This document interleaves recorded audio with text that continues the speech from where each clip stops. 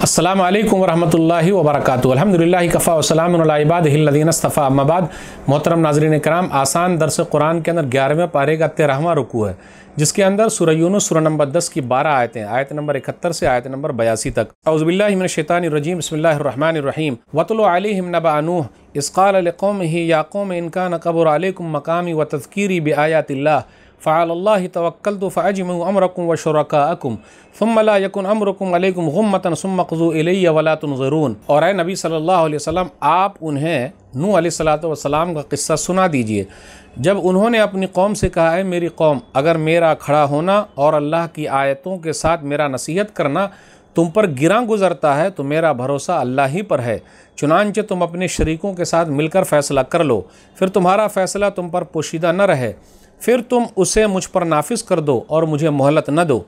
Fan तवल्लई तुम फ़मा सल अजर। इन अजरिया अल्लाह व उमिर तो अनकून मिनलमसलमिन फिर अगर तुम मुँह फेर लो तो मेरा कोई नुकसान नहीं, क्योंकि मैं तुमसे कोई उजरत नहीं माँगता।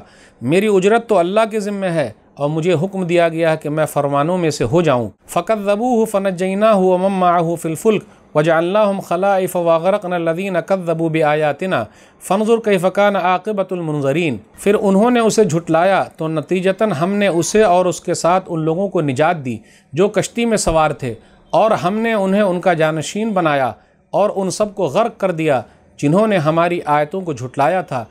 तो उनका अंजाम कैसा हुआ? जिन्हें डराया गया था। सुम बासना मिम्बाद ही रसुलक़ों में ही फ़जाहम बिलबैनात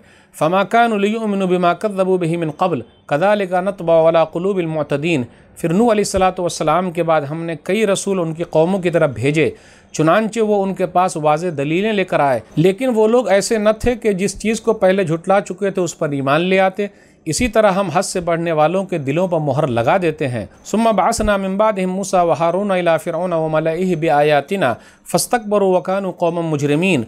फिर उन रसूलों के बाद हमने मूसा और हारून को वसलाम अपनी निशानियों के साथ फ़िरौन और उसकी कौम के सरदारों की तरफ़ भेजा। तो उन्होंने तकबर किया और वो मुजरिम लोग थे। फ़लम जाहमलहक़ मिन दिना कालू इन नहादा सहर मुबीन। फिर जब उनके पास हमारी तरफ़ से हक़ आ गया तो उन्होंने कहा, बेशक ये तो सरीह जादू है।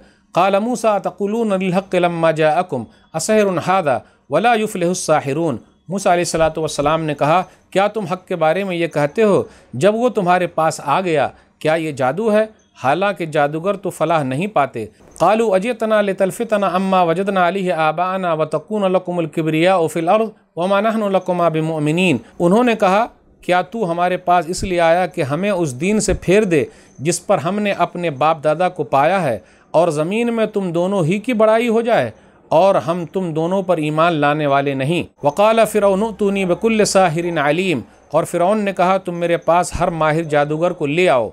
फ़लम माजा सहर तो काल मूसा अलकुमा अन तुम मुल्कून। फिर जब सब जादूगर आ गए तो मूसा सलाम ने उनसे कहा, फेंको जो कुछ तुम फेंकने वाले हो। फ़लम्मा अलक़ाल मूसा माजे तुम बेसहर इन सयुबतिल इन लायुसल अमल मुफसदीन। फिर जब उन्होंने फेंका तो मूसा ने कहा, जो कुछ तुम लाए हो, ये जादू है। बेशक अल्लाह उसे अनकरीब बातिल कर देगा। यकीनन अल्लाह फसाद करने वालों का काम नहीं संवारता। वहक़ल्लाहक बेकलिमात ही वलौकरी हल मुजरमून।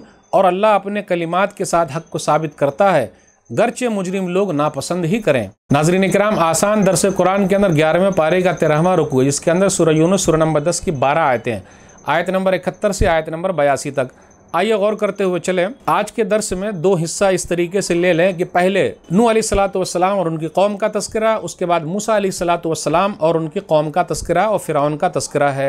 आयत नंबर इकहत्तर, बहत्तर, तिहत्तर, तीन आयतों में नू सलाम और उनकी कौम का तस्करा है। नू सलाम ने अपनी कौम को समझाया, कौम नहीं मानी। साढ़े नौ सौ साल तक समझाते रहे। फिर इसी तरह कहा फ़ाल्ला ही तवक्ल तो मैंने अल्लाह पर भरोसा किया। उसके बाद ये भी कहा, वो अमिर तो अनकून मिनलमसलमिन मुझे हुक्म दिया गया, मैं मुसलमानों में पहला मुसलमान हूँ। इसलिए अपने आप को अगर मुसलमान है कही है, मैं मुसलमान हूँ। उसमें शर्माने की बात क्या है? और तमाम नबियों का दीन तोहद, इस्लाम ही था। और अल्लाह का पसंदीदा दीन दीन इस्लाम ही है। और अल्लाह के नज़दीक दीन दीन इस्लाम ही है।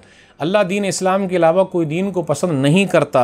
हमैब तक गैर इस्लाम दीन फ़लकबलमिन व फ़िलाखरत मिनखासरीन सुराल इमरान सुर नंबर तीन, आयत नंबर पचासी। अल्लाह इस्लाम के अलावा किसी दीन को पसंद नहीं करता और कबूल भी नहीं किया जाएगा उससे, वो लोग घाटा पाने वालों में से होंगे।